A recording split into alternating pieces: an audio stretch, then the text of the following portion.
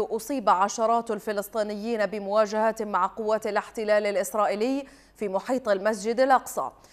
قالت مصادر صحفية أن اشتباكات اندلعت بين القوات الإسرائيلية والفلسطينيين قرب المسجد الأقصى. وأشارت إلى أن المواجهات اندلعت عقب تفريق الاحتلال تظاهرة للفلسطينيين في محيط الأقصى بعد صلاة الجمعة اليوم. أكدت المصادر أن قوات الاحتلال الإسرائيلي استخدمت الرصاص الحي لتفرقة المتظاهرين بمناطق متفرقة في القدس.